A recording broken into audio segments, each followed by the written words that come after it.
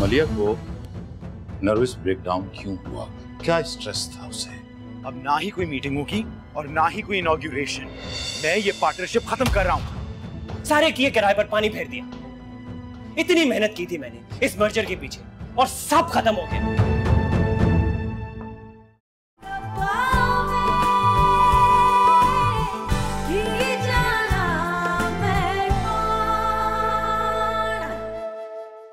Assalamu alaikum everyone, this is Ahal Zamir. Go grab your tickets for Pravaz Junoon which is coming out this Eid al-Azha.